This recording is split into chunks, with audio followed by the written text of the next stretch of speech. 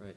So I'm Michael O'Connor, and the piece I presented uh, two weeks ago at ImPulsTanz this year was called Tertiary in the Eight Tension series at Schauspielhaus. Way. And the, so the so the title is in the indication of, of that it's a trio, but can you tell me something more about the title? Because for a non-native speaker, I was a bit like, what does this mean? Even for a native speaker, and if you look up what tertiary means, it just means primary, secondary, tertiary. Mhm. It's a term used for the third. Okay. Um, and it's used in many fields for many different ways. Um, I understood the term through color. Um, so you have your primary colors, red, yellow, and blue. Tertiary, or sorry, secondary, orange, green, and okay, purple. Okay. And then for me, tertiary ha- has, it's just kind of an interesting concept. Like the tertiary colors are then orange yellow on, on the color chart. And there's no indication of red in the term orange yellow. Because the so so the, the originally sort of. The red is absorbed in the Mhm. title orange. But if you didn't have the red, you wouldn't have orange Mm. yellow. So there becomes a tension. There becomes a, for me, a, a complexity in, in, in those colors that usually have more original names like like ochre or Yeah. Dijon mustard or something for the for your and, and then there's already then a tension in, in that quality difference than red or yellow. Um, so I was interested in, in how that third level confuses things. Is the first step in twisting things. It's, it's how I kind of just interpreted it. I don't know, something like this. Very good. Does that mean that you have uh, like taking away empathy, but empathy is there, but it's like uh, The gone? whole yeah, the whole piece is around empathy, but empathy means something else to other people. Um, there's either I don't know four or five different types of empathy. I can label it different ways, but um, mimicry, uh, mentalizing, experience sharing, compassion, and pro-social concern. And when people think of empathy, they think of compassion Yeah. or pro-social concern. How how did you start working on this track? Like, what was the maybe like first seed that made you at all go into these sciences surrounding the broader understanding of empathy? Like, like what? I think the previous piece, looking at the neuroscience or cognitive science of love, which I mixed with more poetry and psychological aspects, then I, I wanted to become more dry and really go to just dry neuroscience articles dealing with the brain, dealing with monkeys and sticks, and um, mm, firing of neurons in the brain. It was very, very dry articles. Um, and actually, more of a poetry came out when I was when I went that dry. The example I always give is is when you see somebody like a football player uh, go to kick the ball and he misses and he breaks his leg and his bone pops out and everybody's when they picture this or they see it um, this automatic this, this motion comes from you thinking about it or imagining it happens to yourself or really feeling it on your skin which then leads to the question how do you make practices of things that are automatic Mm.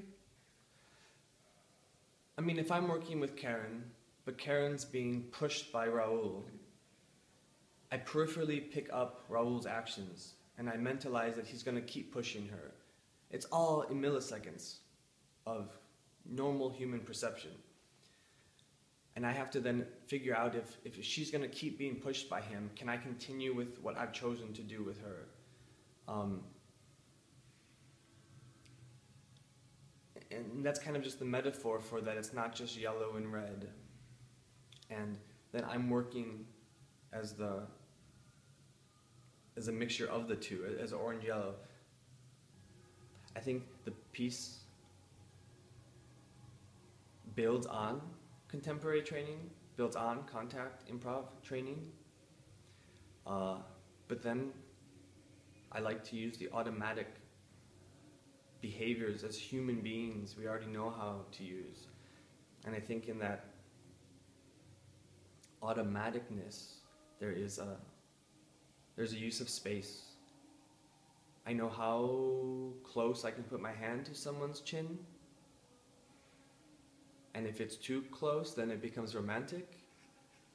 I know I can put my elbow to someone's elbow very closely, and that's not romantic. You do it in elevators.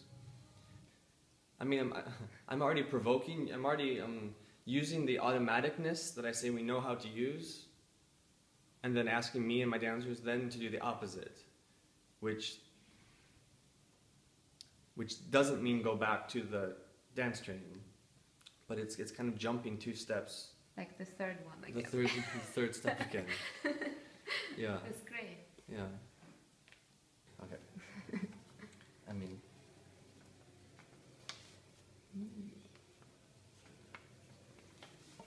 What is this uh, second word here? so longing. Longing. Ah, longing. Okay. Longing. longing.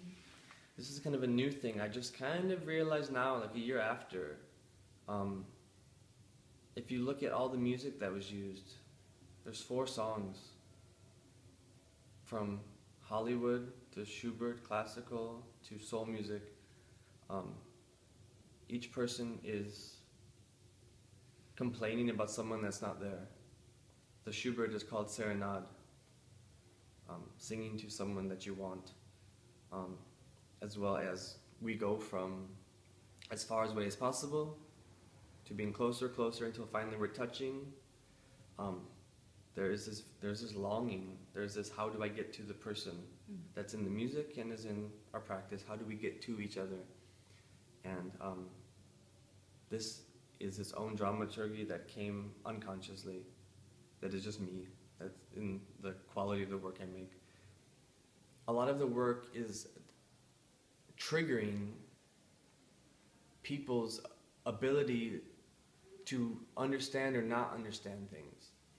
And with the watermelon, with the contact at the end, um, with Raul singing a song that's not heard, there's there's portions of meaning that you get from the audience. It floats in, you understand it, you hear the lyrics, you know the song, you understand the gesture, you see the pairing of the head with the watermelon, and then the next moment, there's the logic is broken, and the meaning doesn't make sense, and you understand the gesture, but you don't understand the context, or you you understand the feeling of the song, but your brain is confused because you don't actually hear the song. Um, but I think that meaning is uh, is the word I would first think of if I were an audience to my own piece. But it's interesting because also you start somehow uh, with actually saying a couple of words where you exactly are like like expressing a sort of nuance of, of meaning inside the same couple of words, if I remember it right. Yeah, I Uh, break it. Yeah. The words dissolve. The gestures don't match the text. I'm I'm changing the meaning of the words. Um, yeah, and this was the last part written in the piece. This was the last thing. So like a little. Mm, The ex, yeah, like a a key to almost an instruction booklet of how to then watch the rest of the work.